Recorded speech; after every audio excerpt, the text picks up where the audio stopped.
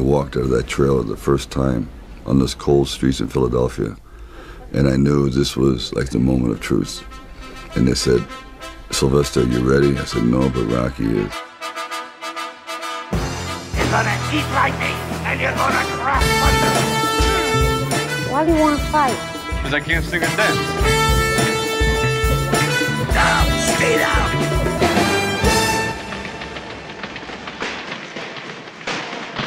There was something about the process of unrealized dreams. I was always brought back to this subject because I think it's one of the most enduring subjects and one of the most difficult passages for people to accept that they never were realized in their own lifetime, that they just didn't get that shot. You know, I've been coming in for six years, and six years you've been sticking it to me. I want to know how come. You don't wanna know. Yeah, I want to know how come. You wanna know? I want to know how. Okay, I'm gonna tell you. Because you had the talent to become a good fighter. And instead of that, you became a leg breaker. Some cheap, second-rate loan shark. It's a living? It's a waste of life.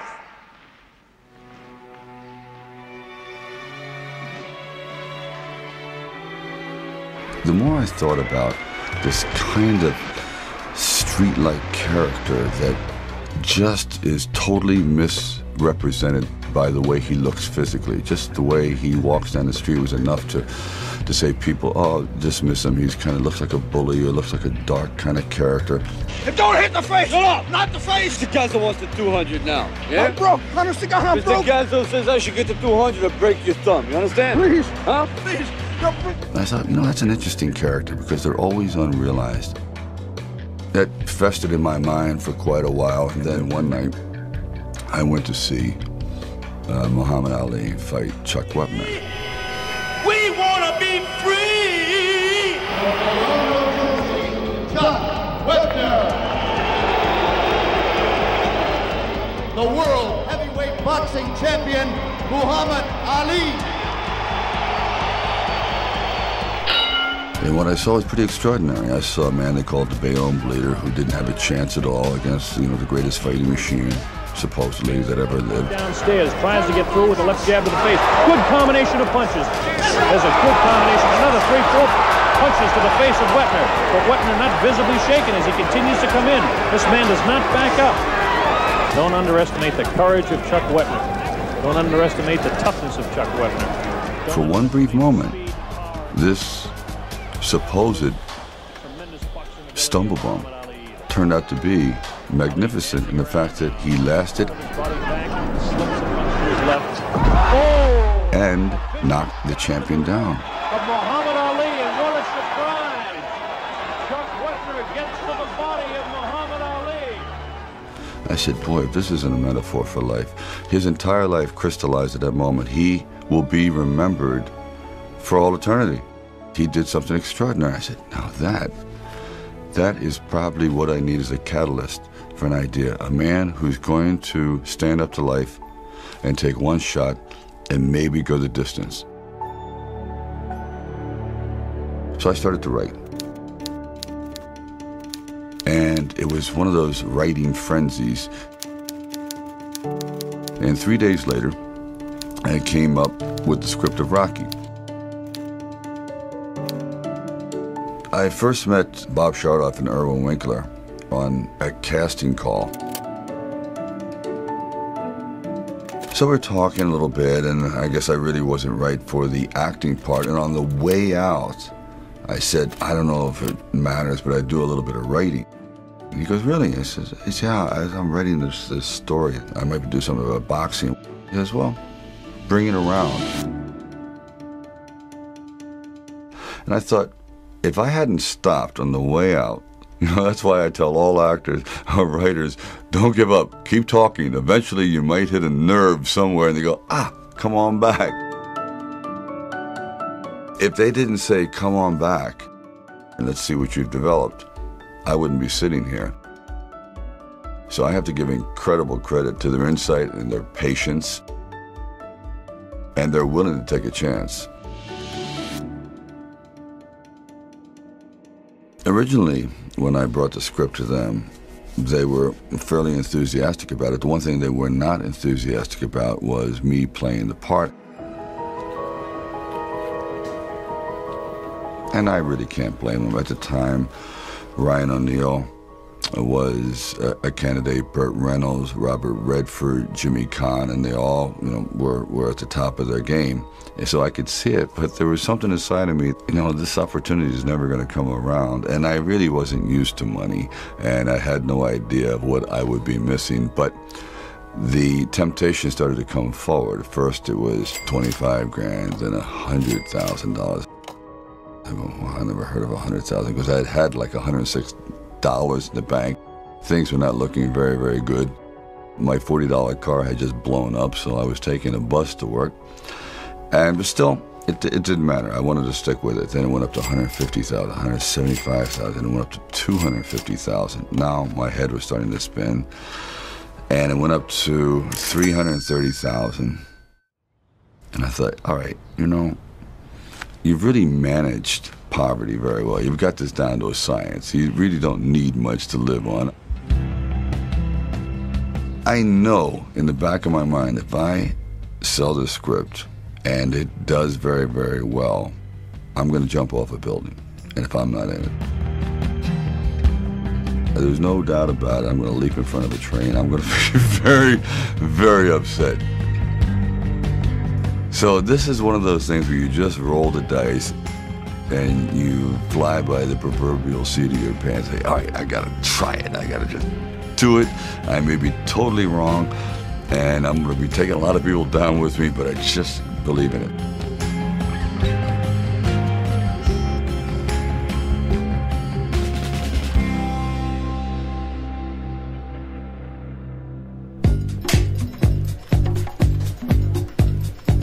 Didn't have really the, the money to shoot a normal union film at that time in Philadelphia, so we would travel in a van. I would jump out of the van, and uh, we were working with the handheld camera at the time with, with Garrett Brown, and it was uh, somewhat experimental. And he'd film me running through shopping malls and up down the steps curved corridors along the river until finally my legs basically gave out and I'm like writhing on the ground and I want to rise up and say, John, I'm dying here. And he goes, no, no, use it. Use the pain. I said, for what? I mean, I'm in misery. He goes, well, no, no.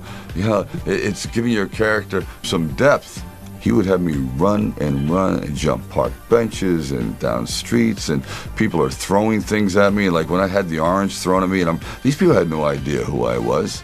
I was just some strange alien invader in a well-worn tattered baggy incredibly ugly sweatsuit running through their neighborhood you know and they're like throwing things at me. And we kind of like made it work but I actually like i thought they were trying to hit me with the orange we just jumped down and saw this ship along the dock. Run as fast as you can along the ship. And I'm running and running. I said, you know what? My legs are buckling. I'm, I'm literally going to crash down here. Teeth are going to go, jaw, face. I'm just going to be ground down to this flat faced image. And I just barely made it.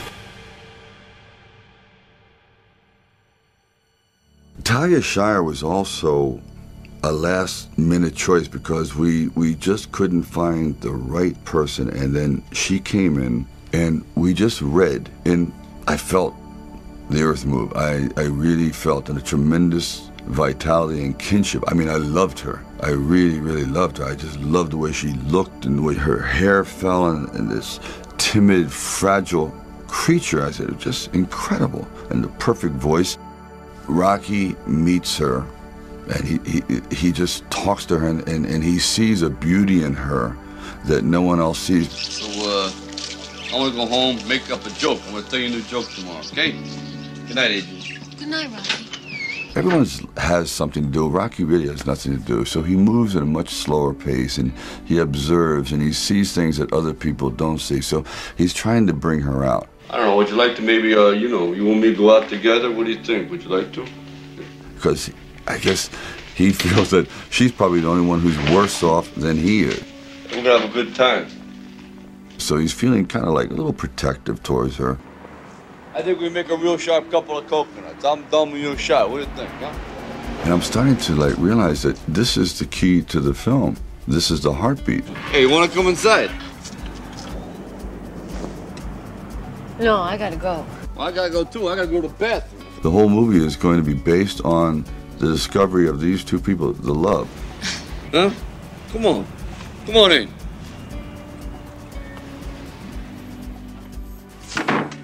Yo, Adrian, you hungry? No. She goes upstairs, I could go for some music. and now she's like terrified. This is not exactly what you call a swinging bachelor apartment. You wanna sit down?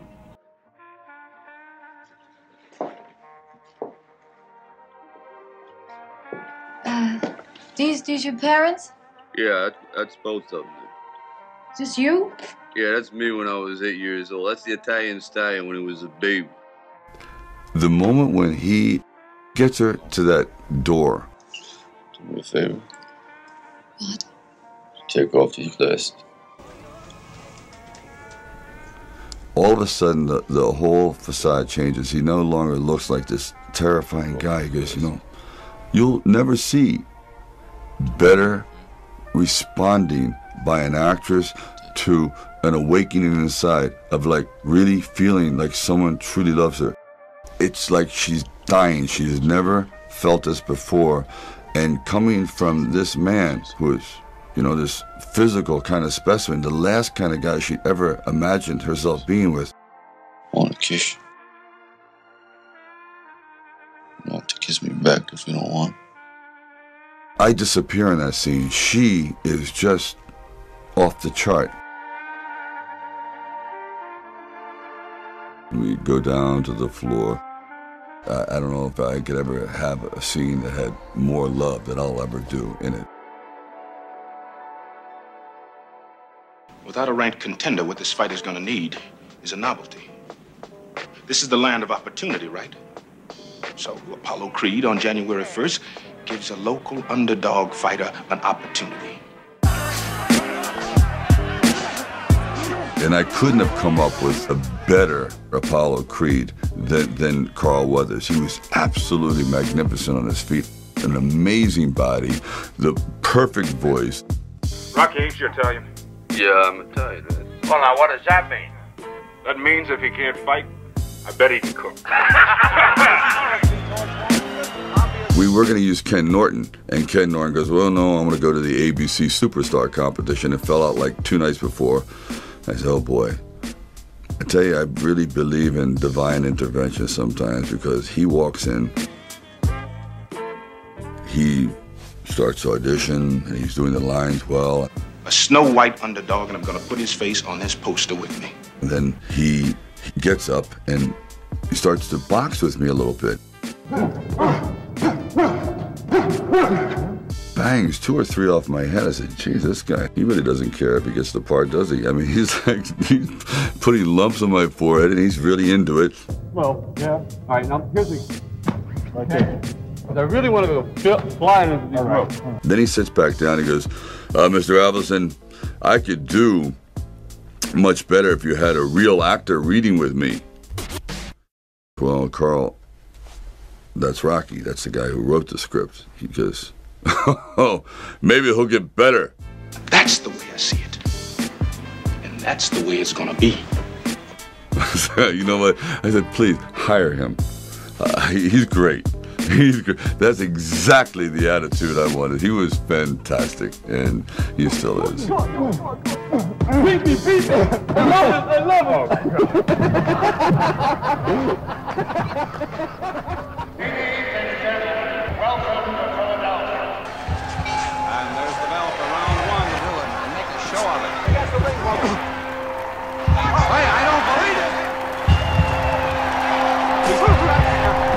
Can't see nothing. Gotta open my eye. Ain't to be no rematch. Ain't to be no rematch. Don't want one. The original ending of Rocky was uh, quite different than what we have now. The original ending was he, he goes the distance and he's looking for Adrian. The crowd is starting to disperse. Yes, he, he did a noble thing, but time moves on, the, the champion is carried out of the ring, and Rocky starts to meander through the crowd. He eventually gets to the curtain. He pulls back the curtain at the back of the arena and sees Adrian. She gives him a, a slight hug, and hand in hand, they start to walk back to the locker room. There's no one talking to him anymore. There's just trash strewn everywhere, and I just see these two solitary figures moving off into the distance, off into like, you know, being anonymous forevermore.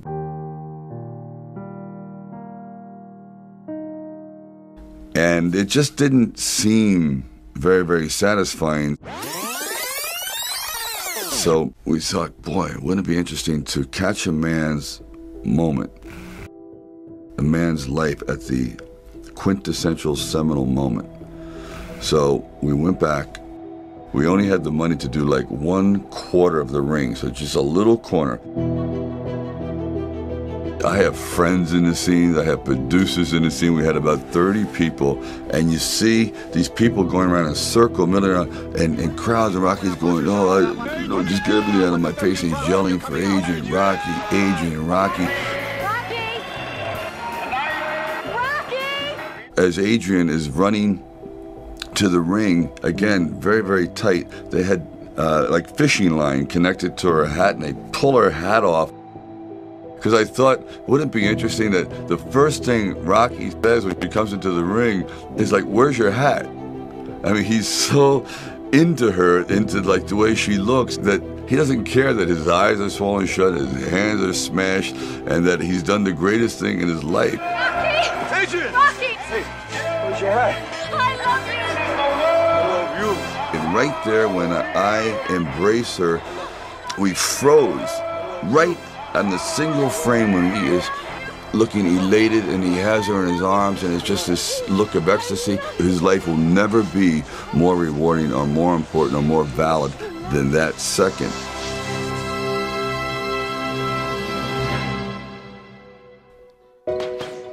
Rocky never expected to win.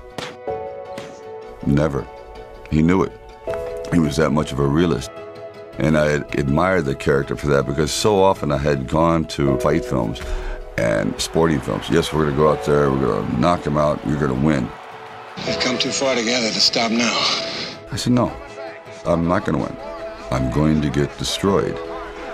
But if I can just be elusive, if I can still be standing on my feet, you know what? Then life isn't so bad. And I think symbolically, at the very end of our lives, if we can still say, you know, we were never humbled, we were knocked down, but we got up, and I can say, I lived life with integrity and I took all the blows, I still prevailed. That's what I tried to capture in this film. You start this fight, I'll kill you. But more importantly, I also realized that you can't be alone.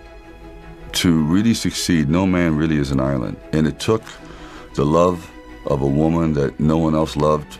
You know, you're looking very great today, you know that? It took even the befriending of, of her brother, who no one could understand. But they gelled together, and, and Rocky brought this, this whole group together. They made a whole entity, a whole person. When you find the right components in your life, the right people that gel with you, then you feel as though you, you're invincible. It may be a fallacy, but you at least feel as though you can, you can take all that life has to dish out.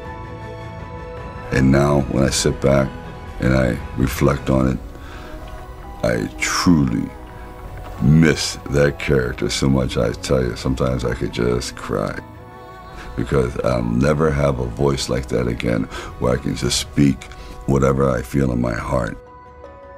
And if I can go that distance, seeing that bell rings and I'm still standing, I'm gonna know for the first time in my life that weren't just another bum from the neighborhood. That's the one thing I'll always cherish about that character. If I say it, you won't believe it. But when Rocky said it, it was the truth.